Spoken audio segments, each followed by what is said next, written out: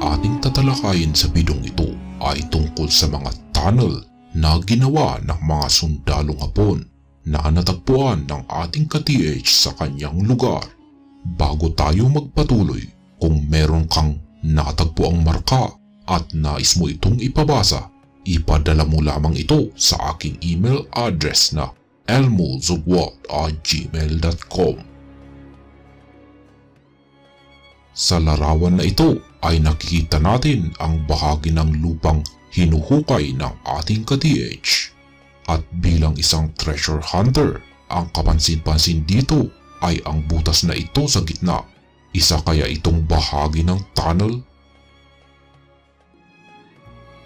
Base sa aking pagsusuri, napansin ko na ang lupa ay napaka-compact o siksik ang kanyang bahaging ito. Kapag compact o siksik ang uri ng lupa na tulad nito, ang ibig sabihin nito ay hindi pa nagagalaw o nahuhukay ang lupang ito. Pero kung hindi pa ito nagagalaw o nahuhukay, paano ito nagkaroon ng butas? Posibleng ang butas na ito ay isang horizontal tunnel o pahalang na tunnel kung saan ay meron itong tamang pasukan o tunnel entrance. Pero ang nangyari dito, aksidenteng nabuksan ito ng ating ka-TH sa bahaging ito ng tunnel.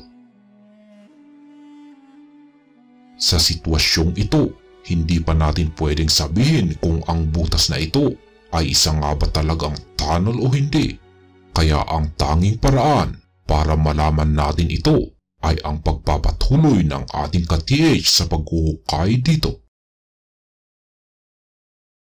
Sa larawan naman na ito ay masasabi kong ito ay walang dudang isang tunnel. Mapapansin natin dito na ang pagkabutas ng tunnel na ito ay matagal na itong nagawa. Kung pagmamasdan mong mabuti, ang mga sulok na bahagi nito ay tumigas na parang bato at hindi basta-basta magigiba. Ang payo ko sa ka-TH natin na nakahanap sa tunnel na ito ay ituloy lamang ninyo itong hukayin. Madali lamang ninyong masusundan ang lagusan ng tunnel na ito dahil sa malinaw at madaling mapansin ang dating butas nito.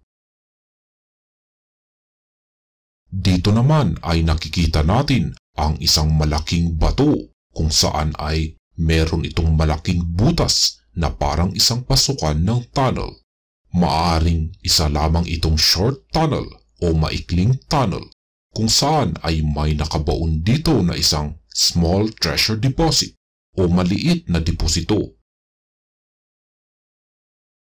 Ang payo ko naman dito sa ka-DH natin na nakadiskobre sa butas na ito ay ituloy mo lamang itong hukayin.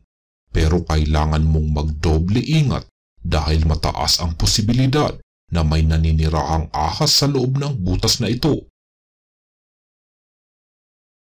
Pagdating sa mga tunnel deposits, kapag ang mga deposito ay nasa small to medium volume of deposits, ang mga ito ay karaniwang madadatnan mo sa pinakadulo ng tunnel. Pero kung ito naman ay isang large volume of treasure deposit, medyo may pagkakomplikado ito o medyo mahirap itong hanapin. Bago tayo magtapos sa bidong ito, ay basahin natin muna ang mga pangalan ng ating mga ka-TH na nais magpa-shoutout. Shoutout kay ka-TH na si Masayon Marlon na tiga Cebu Shoutout kay ka-TH na si Kobe Kobe na tiga N Oriental. Shoutout kay ka-TH na si Daniel Atiwag na tiga Tabuk City, Kalinga. Shoutout kay ka-TH na si Torio Bulsao na tiga Mountain Trail. Shoutout kay ka-TH na si Jim Boris.